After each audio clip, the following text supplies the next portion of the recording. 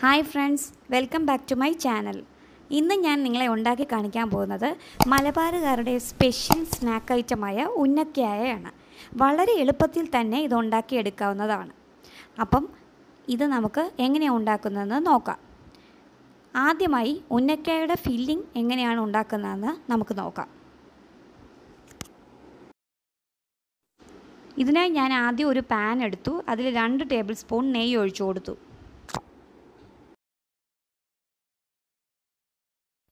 ഇനി ഞാൻ കുറച്ച് കാഷ്യൂ നട്ട്സ് ഇട്ട് കൊടുക്കും. അതിനെ ഒന്ന് റോസ്റ്റ് ചെയ്യാം. കാഷ്യൂ നട്ട്സിന്റെ എണ്ണം എന്ന് നമുക്ക് ഇഷ്ടമുള്ള അത്ര എടുക്കാം. ഞാനൊരു പത്ത് മുതൽ പതിനഞ്ച് വരെ ചെറുതായി ഒന്ന് അരിഞ്ഞിട്ട് റോസ്റ്റ് ചെയ്ത് എടുക്കുകയാണ്. ഒരു മിനിറ്റ് സമയം മതിയാകും. ജസ്റ്റ് ഒന്ന് റോസ്റ്റ് ആയാൽ മതി.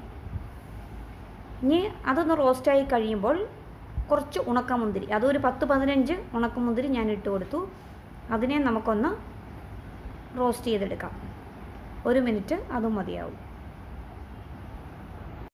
അടുത്ത് ഞാൻ ഇതിനോടൊപ്പം അര കപ്പ് തേങ്ങ ഇട്ട് കൊടുക്കുകയാണ്. ഞാൻ അപ്പം തന്നെ ചിരവി എടുത്ത തേങ്ങയാണ് ഇട്ട് കൊടുത്തേക്കുന്നത്. അതും ഒരു മിനിറ്റ് ഒന്ന് റോസ്റ്റ് ചെയ്തെടുക്കണം. ഒരു മിനിറ്റ് ആയിട്ടുണ്ട്. ജസ്റ്റ് ഒന്ന് റോസ്റ്റ് ആയിട്ടുണ്ട്. ഇനി ഞാൻ പൊടിച്ച പഞ്ചസാരയും ഏലക്കായും കൂടെ മിക്സ് ചെയ്ത് എടുത്തതാണ് ഇത്. പഞ്ചസാരയും ഏലക്കായും. ഒരു നാലഞ്ച് ഏലക്ക. അത് രണ്ടും മിക്സിയിലിട്ട് പൊടിച്ച് അത് നേരത്തെ എടുത്ത് വെച്ചേക്കണം. ആ പൊടിച്ച പഞ്ചസാര ഏലക്കയും കൂടി ഒന്ന് റോസ്റ്റ് ചെയ്യാൻ വേണ്ടി പാനിലേക്ക് ഇടുക.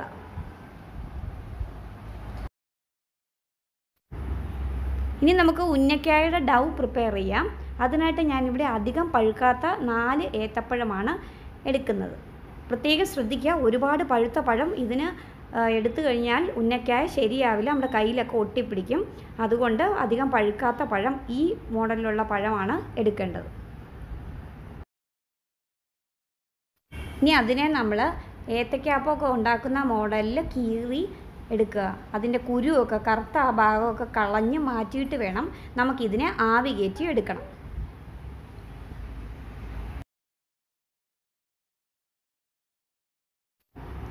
ഇനി നമുക്ക് ഒരു ഇഡ്ഡലി കുക്കർ എടുത്തിട്ട് സ്റ്റീം ചെയ്യാൻ വെക്കാം. ഒരു മിനിറ്റാണ് ഞാൻ ഇത് സ്റ്റീം ചെയ്യാൻ എടുത്തേക്കുന്നത്. സാധാരണ നമ്മൾ ഏത്തപ്പഴം പുഴുങ്ങാൻ എടുക്കുന്ന സമയമൊന്നും ഇതിന് വേണ്ട. ജസ്റ്റ് ഒന്ന് വെന്ത് കിട്ടിയാൽ മതി. അപ്പോൾ ഒരു മിനിറ്റ് നമുക്കൊന്ന് വെയിറ്റ് ചെയ്യാം.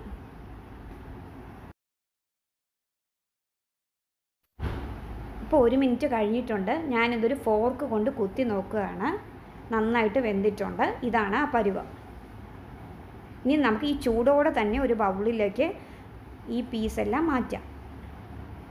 ഇനി ഇതിനെ മാഷ് ചെയ്തെടുക്കണം. ഞാനൊരു ഗ്ലാസ് ഉപയോഗിച്ച് ഇതിനെ മാഷ് ചെയ്ത് എടുക്കുകയാണ്. ആ ചൂടോട് കൂടി തന്നെ വേണം മാഷ് ചെയ്തെടുക്കാൻ. നന്നായിട്ട് ഗ്ലാസ് കൊണ്ട് ഉടച്ചെടുക്കണം.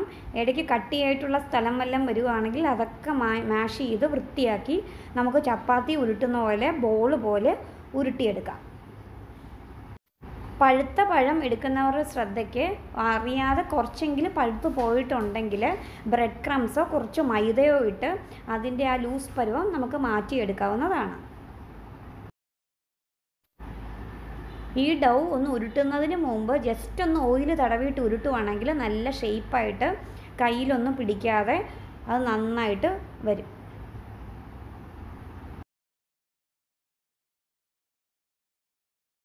അപ്പോൾ ഇത് ഞാൻ മൂന്നായിട്ട് ഉരുട്ടി പരുവമാക്കി എടുത്തിട്ടുണ്ട്. ഇതാണ് ആ പരുവം.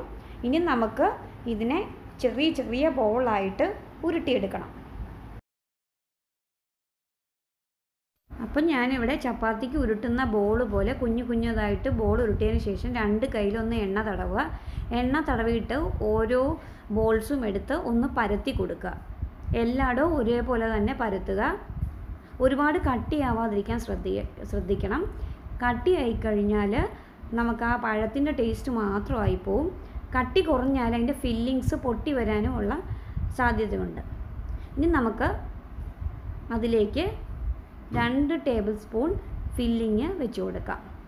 ഫില്ലിങ്സ് ഒരുപാട് ആയി പോവാതെയും ശ്രദ്ധിക്കണം. നടുഭാഗത്തായിട്ട് ഫില്ലിങ്സ് വെച്ച് കൊടുക്കണം. ഇനി നമുക്കതിനെ മടക്കിയെടുക്കാം. ഇതേപോലെ മടക്കിയെടുക്കണം. വളരെ ശ്രദ്ധിച്ച് ആദ്യം തുടക്കക്കാർക്ക് കുറച്ച് പാടായിരിക്കും പിന്നെ നമ്മൾ ചെയ്ത് ചെയ്ത് വരുമ്പോൾ ശരിയാവും. ഇതേപോലെ ടൈറ്റായിട്ടൊന്ന് സീൽ ചെയ്ത് കൊടുക്കുക. എല്ലാം സീലായി എന്ന് ഉറപ്പ് വരുത്തിയതിന് ശേഷം നമ്മൾ ജസ്റ്റ് കൈ കൂപ്പുന്ന മോഡലിൽ അതിനെ ഷേപ്പ് ചെയ്ത് എടുക്കണം ദാ ഇതേപോലെ. ഇതാണ് ഉന്നക്കായുടെ ഷേപ്പ് ഇതേപോലെ നമ്മളെല്ലാം ഈ ഷേപ്പിലാക്കി എടുക്കുക അതേപോലെ ഞാൻ എല്ലാം സെറ്റ് ചെയ്ത് അറേഞ്ച് ചെയ്ത് വെച്ചിട്ടുണ്ട്. ഇനി നമുക്കിതിനെ ഫ്രൈ ചെയ്തെടുക്കാം. ഒരു ചീനച്ചട്ടി എടുത്തു വെച്ചതിന് ശേഷം അതിലേക്ക് കുറച്ച് എണ്ണ ഒഴിച്ചു കൊടുത്തു ഞാൻ. എണ്ണ ഒന്ന് ചൂടായി വരുമ്പോഴത്തേക്കും അതുവരെ ഹൈ ഫ്ലെയിമിൽ ഇട്ട് കൊടുക്കുക. ചൂടായി എന്ന് ഉറപ്പ് വരുത്തിയതിന് ശേഷം നമ്മളത് ഇട്ട് കൊടുക്കുമ്പോൾ വീണ്ടും മീഡിയം ഫ്ലെയിമിലോ ലോ ഫ്ലെയിമിലോ വെക്കുക. ഇനി ഓരോ ഉന്നക്കായും ഇട്ട് കൊടുക്കും. എണ്ണയിലേക്ക് പതുക്കെ ഒന്ന് ഇട്ട് കൊടുത്താൽ മതി.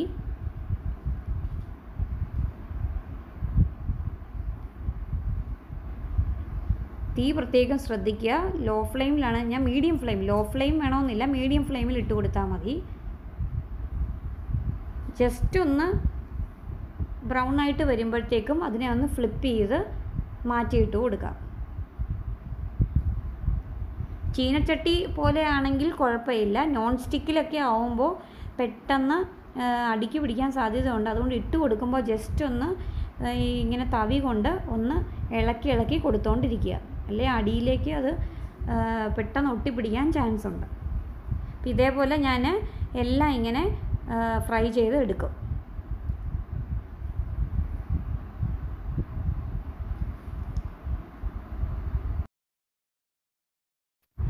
അപ്പം നമ്മുടെ ഉന്നക്കായ ഇവിടെ റെഡി ആയിട്ടുണ്ട്. നാല് മണിക്ക് ചായയുടെ കൂടെ കഴിക്കാൻ പറ്റിയ ഒരു നല്ല സ്നാക്കാണ് എല്ലാവർക്കും ഇഷ്ടപ്പെടും. മലബാർ ഏരിയയിലൊക്കെ ആണെങ്കിൽ ഇത് ഒരു സ്നാക്ക് ഐറ്റവും അതുപോലെ തന്നെ വളരെ വിശേഷപ്പെട്ട അവസരത്തിൽ ഉണ്ടാക്കുന്ന ഒരു പലഹാരമാണ് ഇത് പെട്ടെന്ന് ഉണ്ടാക്കാം. നിങ്ങൾ എല്ലാവരും ട്രൈ ചെയ്യണം. ഈ വീഡിയോ ഇഷ്ടമായാൽ നിങ്ങളെല്ലാവരും ഷെയർ ചെയ്യണം സബ്സ്ക്രൈബ് ചെയ്യണം.